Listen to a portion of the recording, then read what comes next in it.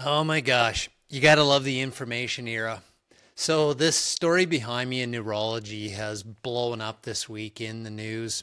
There's news outlets all over the world that are reporting headlines like this Two hunters have died from consuming CWD infected deer. Well, that's not true. That's not what's going on here. So, let me explain what this report in the Neurology Journal is. In the discipline of epidemiology, which is the scientific study of how human diseases spread in populations, medical professionals will make reports on their day to day observations of this phenomenon called a cluster. The Center for Disease Control in the United States has a protocol on how to submit these cluster reports and what they do with them.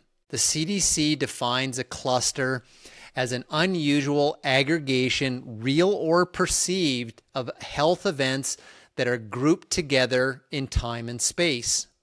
The CDC will take these cluster reports, screen them, and some of them will go on to further investigation, including formal medical research and clinical trials. This cluster report in neurology this week is about two individuals from the same hunting camp that were known to consume deer that come from CWD infected populations who both died of Creutzfeldt-Jakob disease.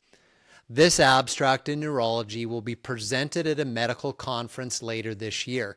It's simply a starting point. It's raising a red flag in the field of epidemiology about a cluster.